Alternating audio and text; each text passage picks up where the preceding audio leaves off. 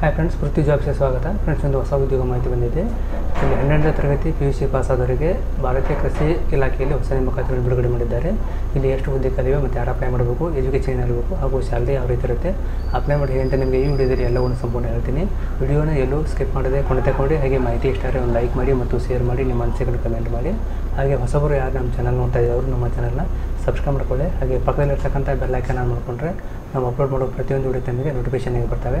ಹಾಗೂ C S C ಬಗ್ಗೆ job ಬಗ್ಗೆ ಸರ್ಕಾರದ ಮಾಹಿತಿ ಕೂಡ ಇದಿರುತ್ತದೆ ಓಕೆ ಫ್ರೆಂಡ್ಸ್ ನೇರ ವಿಷಯಕ್ಕೆ ಹೋಗುವಾಗ ನೋಡಿ ಫ್ರೆಂಡ್ಸ್ ಇದು ಭಾರತೀಯ ಕೃಷಿ ಸಂಶೋಧನಾ ಇಲಾಖೆ ವೆಬ್ಸೈಟ್ ಆಗಿದೆ. ಇಲ್ಲಿರ್ತಕ್ಕಂಥ ನೇಮಕ ಆಗಿದೆ ಇಲ್ಲಿ ಎಸ್ ಆರ್ ಎಫ್ ಮತ್ತು ಎಸ್ ಆರ್ ಎಫ್ ಮತ್ತು ಲ್ಯಾಬ್ ವರ್ಕರ್ ಬಗ್ಗೆ ಅರ್ಜಿ ಕರೆದಿದ್ದಾರೆ ಪಿ ಯು ಸಿ ಹಾಗೂ ಡಿಗ್ರಿ ಪಾಸ್ ಆದವರಿಗೆ. ಅದರ ಬಗ್ಗೆ ಮಾಹಿತಿ ನೋಡೋಣ. ಇಲ್ಲಿ ಫಸ್ಟ್ ಇನ್ಫಾರ್ಮೇಷನ್ ಏನು ಬಂದಿದೆ ಅಂತ.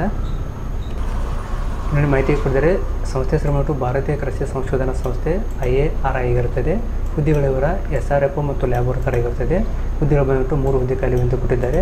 ವೇತನ ಬಂದ್ಬಿಟ್ಟು ಇಪ್ಪತ್ತೊಂದು ಸಾವಿರದ ಎರಡುನೂರ ಹದಿನೈದು, ಹದಿನೈದರಿಂದ ಮೂವತ್ತೊಂದು ಸಾವಿರ ರೂಪಾಯಿ ಪ್ರತಿ ತಿಂಗಳ ಸ್ಯಾಲರಿ ಇರುತ್ತೆ. ಉದ್ಯೋಗ ಸ್ಥಳ ನವದೆಹಲಿ ಆಗಿರುತ್ತದೆ ಅರ್ಜಿ ಸಲ್ಲಿಸುವ ಮೂರು ಅಪ್ಲೈ ಮೂಲಕ ಆಗಿರುತ್ತದೆ ಇದು ವೆಬ್ಸೈಟ್ ಆಗಿರುತ್ತದೆ ಇಲ್ಲಿ ಹುದ್ದೆಗಳ ವಿವರ ಈ ರೀತಿ ಕೊಟ್ಟಿದ್ದಾರೆ. ಹಿರಿಯ ಸಂಶೋಧನಾ ಫೆಲೋ ಅಂದರೆ ಎಸ್ ಆರ್ ಎಫ್ ಹುದ್ದೆಗಳು ಒಂದು ಹುದ್ದೆ ಖಾಲಿ ಇದೆ ನುರಿತ ಫೀಲ್ಡ್ ಅಥವಾ ಲ್ಯಾಬ್ ವರ್ಕರ್ ಎರಡು ಹುದ್ದೆ ಖಾಲಿ ಅಂತ ಕೊಟ್ಟಿದ್ದಾರೆ. ಇನ್ನು ಈ ಹುದ್ದೆಗೆ ಶೈಕ್ಷಣಿಕ ಅರ್ಹತೆ ಏನಾಗಿರಬೇಕು ಅಂದರೆ ಆ ಎ ಆರ್ ಐ ಅಧಿಕೃತ ಸೂಚನೆ ಪ್ರಕಾರ ಅಭ್ಯರ್ಥಿಯು ಮಾನ್ಯತೆ ಪಡೆದ ಮಂಡಳಿಯಿಂದ ಯಾವುದೇ ವಿಶ್ವವಿದ್ಯಾಲಯದಿಂದ ಹನ್ನೆರಡನೇ ತರಗತಿ ಪದವಿ, ಸ್ನಾತಕೋತ್ತರ ಪದವಿಯನ್ನು ಪಾಸಾಗಿರ್ಬೇಕಂತ ಕೊಟ್ಟಿದ್ದಾರೆ. ಇನ್ನು ಹಿರಿಯ ಸಂಶೋಧನಾ ಫೆಲೋ ಅಂದರೆ ಎಸ್ ಆರ್ ಎಫ್ ಹುದ್ದೆಗಳಿಗೆ ಪದವಿ ಅಥವಾ ಸ್ನಾತಕೋತ್ತರ ಪದವಿ ಪಾಸಾಗಿರಬೇಕು ಮತ್ತು ನುರಿತ ಫೀಲ್ಡ್ ಅಥವಾ ಲ್ಯಾಬ್ ವರ್ಕರ್ ಹುದ್ದೆಗಳಿಗೆ ಹನ್ನೆರಡನೇ ತರಗತಿ ಪಾಸಾದರೂ ಅರ್ಜಿಯನ್ನು ಸಲ್ಲಿಸಬಹುದಾಗಿದೆ. ಇನ್ನು ಈ ಹುದ್ದೆಗೆ ಸ್ಯಾಲ್ರಿ ನೋಡಬೇಕಾದ್ರೆ ಎಸ್ ಆರ್ ಎಫ್ ಹುದ್ದೆಗಳಿಗೆ ಮೂವತ್ತೊಂದು ಸಾವಿರ ರೂಪಾಯಿ ಪರ್ ಮಂತ್ ಇರುತ್ತೆ. ಇನ್ನು ಫೀಲ್ಡ್ ವರ್ಕು ಮತ್ತು ಲ್ಯಾಬ್ ವರ್ಕರ್ ಹುದ್ದೆಗಳಿಗೆ ಇಪ್ಪತ್ತೊಂದು ಸಾವಿರದ ಎರಡುನೂರ ಹದಿನೈದು ರೂಪಾಯಿ ಪರ್ ಮಂತ್ ಅಲ್ಲಿ ಇರುತ್ತೆ. ಇದಕ್ಕೆ ಯಾವುದೇ ರೀತಿ ಅರ್ಜಿ ಶುಲ್ಕ ಇರೋದಿಲ್ಲ ಮತ್ತು ಎಕ್ಸಾಮ್ ಕೂಡ ಇರೋದಿಲ್ಲ ಆಯ್ಕೆ ಪ್ರಕ್ರಿಯೆ ನೇರವಾಗಿ ಸಂದರ್ಶನ ಮೂಲಕ ಇರುತ್ತದೆ. ಯಾವುದೇ ರೀತಿ ಎಕ್ಸಾಮ್ ಇರೋದಿಲ್ಲ ಹಾಗೂ ಯಾವುದೇ ರೀತಿ ಅರ್ಜಿ ಶುಲ್ಕ ಕೂಡ ಇರೋದಿಲ್ಲ ಈ ಹುದ್ದೆಗಳಿಗೆ. ಇಲ್ಲಿ ಡೀಟೇಲ್ಸ್ ಎಲ್ಲ ಕೊಟ್ಟಿದ್ದಾರೆ, ಒಂದು ಸಾರಿ ಚೆಕ್ ಮಾಡಿ ನೋಡ್ಕೊಂಡು ಅದು ಸಲ್ಲಿಸಬೇಕಾಗುತ್ತೆ ಇಲ್ಲಿ ಅರ್ಜಿ ಕಳಿಸಬೇಕಾದ ವಿಳಾಸ ಕೂಡ ಕೊಟ್ಟಿದ್ದಾರೆ.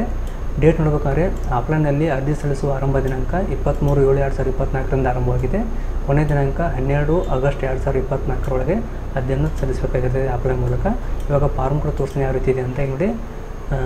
I C R Indian agriculture research institute ಕೊಟ್ಟಿದ್ದಾರೆ. ಪ್ರಕಟೋ ದಿನಾಂಕ ಇಪ್ಪತ್ತ್ಮೂರು ಏಳು ಎರಡು ಸಾವಿರದ ಇಪ್ಪತ್ನಾಲ್ಕು ಆಗಿರುತ್ತದೆ ವಾಲ್ಕನ್ ಇಂಟರ್ವ್ಯೂ ಅಂತ ಕೊಟ್ಟಿದ್ದಾರೆ. ಇಲ್ಲಿ ಡೀಟೇಲ್ಸ್ ಸಹ ಓದ್ಕೋಬೋದು ಒನ್ ಎಸ್ ಆರ್ ಎಫ್ ಮತ್ತು ಟು ಫೀಲ್ಡ್ ವರ್ಕರ್ ಅಂತ ಕೊಟ್ಟಿದ್ದಾರೆ ಲ್ಯಾಬ್ ವರ್ಕರ್ ಹುದ್ದೆಗಳು ಇಲ್ಲಿ ಸೀನಿಯರ್ ರಿಸರ್ಚ್ ಫೆಲೋ ಒಂದು ಹುದ್ದೆ ಖಾಲಿ ಇದೆ, ಮೂವತ್ತೊಂದು ಸಾವಿರ ರೂಪಾಯಿ ಸ್ಯಾಲ್ರಿ ಇದೆ plus thirty percent H R ಇದೆ ಅಂತ ಕೊಟ್ಟಿದ್ದಾರೆ.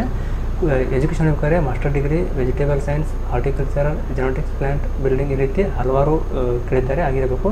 Experience in use molecular mark card hours and property ಅಂತ ಇನ್ನು ಕಂಪ್ಯೂಟರ್ ಸ್ಕಿಲ್ ಅಂತ ಕೊಟ್ಟಿದ್ದಾರೆ. ಜೊತೆಗೆ ಸ್ಕಿಲ್ಡ್ ಫೀಲ್ಡ್ ಲ್ಯಾಬ್ ವರ್ಕರ್ ಹುದ್ದೆಗಳಿಗೆ ಎರಡು ಹುದ್ದೆ ಕಲಿ ಕೊಟ್ಟಿದ್ದಾರೆ.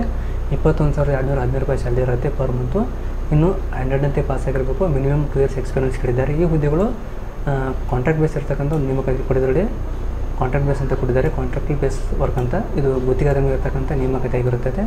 ಇಂಟ್ರೆಸ್ಟ್ ಇದ್ದರೆ ಅರ್ಜಿನ ಸಲ್ಲಿಸ್ಬೋದು ಇಲ್ಲಿ ಡೀಟೇಲ್ಸ್ ಎಲ್ಲ ಕೊಟ್ಟಿದ್ದಾರೆ. ಒಂದು ಸಾರಿ ಚೆಕ್ ಮಾಡ್ಕೊಂಡು ಓದ್ಕೊಂಡು ಅರ್ಜಿ ಸಲ್ಲಿಸಬೇಕು. ಇಲ್ಲಿ ಕೆಳಗಡೆ ಅಪ್ಲಿಕೇಶನ್ ಫಾರ್ಮ್ ಕೊಟ್ಟಿದ್ದಾರೆ. ಈ ಫಾರ್ಮ್ ತಾವು ಪ್ರಿಂಟೌಟ್ ತಗೋಬೇಕಾಗುತ್ತೆ. ಪ್ರಿಂಟೌಟ್ ತಗೊಂಡು ಫಿಲಪ್ ಮಾಡಿ ಅರ್ಜಿಯನ್ನು ಪೋಸ್ಟ್ ಮೂಲಕ ಕಳಿಸ್ಬೇಕು. ಇಲ್ಲಿ name father name date of birth age, ಆಮೇಲೆ mobile number email I D gender marriage details ಆಮೇಲೆ ಕೆಟಗರಿ ಫೋಟೋ ಅಟ್ಯಾಚ್ ಮಾಡಬೇಕಾಗತ್ತೆ. ಇಲ್ಲಿ ನಿಮ್ಮ ಎಜುಕೇಷನ್ ಡೀಟೇಲ್ಸ್ ಹಾಕಬೇಕಾಗತ್ತೆ. ಇಲ್ಲಿ ವರ್ಕ್ ಎಕ್ಸ್ಪೀರಿಯನ್ಸ್ ಡೀಟೇಲ್ಸ್ ಹಾಕಬೇಕಾಗತ್ತೆ. ಡಾಕ್ಯುಮೆಂಟ್ ಹಚ್ಚಿ ಇಲ್ಲಿ ಡಿಕ್ಲೇಷನ್ ಕೊಟ್ಟಿದ್ದಾರೆ.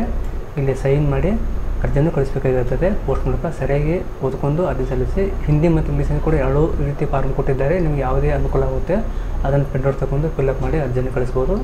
ಈ ಪಿ ಡಿ ಎಫ್ ಲಿಂಕನ್ನು ನಮ್ಮ ವಾಟ್ಸಪ್ ಟೆಲಿಗ್ರಾಮ್ ಗ್ರೂಪಲ್ಲಿ ಶೇರ್ ಮಾಡಿದ್ದೀನಿ. ಅಲ್ಲಿಂದ ತಾವು ಡೌನ್ಲೋಡ್ ಮಾಡ್ಕೊಂಡು ಅರ್ಜಿಯನ್ನು ಸಲ್ಲಿಸ್ಬೋದು. ಇದು ಮೇನ್ ಆಪ್ಷನ್ ವೆಬ್ಸೈಟ್ ಆಗಿದೆ ಇಲ್ಲಿರ್ತಕ್ಕಂಥ ಒಂದು ಸಣ್ಣ ಉದ್ಯೋಗ ಮಾಹಿತಿ ಆಗಿತ್ತು. ಇದನ್ನು ತಮಗೆ ಶೇರ್ ಮಾಡಿದ್ದೇನೆ. ತಮಗೆ ಇಷ್ಟ ಆಗಿದೆ ಅನ್ಕೋತೀನಿ ದಯವಿಟ್ಟು. ಇಷ್ಟ ಆದರೆ ಒಂದು ಲೈಕ್ ಮಾಡಿ ಮತ್ತು ಶೇರ್ ಮಾಡಿ, ನಿಮ್ಮ ಅನಿಸಿಕೆ ಕಮೆಂಟ್ ಮಾಡಿ. ಫ್ರೆಂಡ್ಸ್ ವಿಡಿಯೋ ನೋಡೋದಕ್ಕೆ ತುಂಬ ಧನ್ಯವಾದಗಳು. ಥ್ಯಾಂಕ್ಸ್ ಫಾರ್ ವಾಚಿಂಗ್ ಜೈ ಹಿಂದ್, ಜೈ ಕರ್ನಾಟಕ.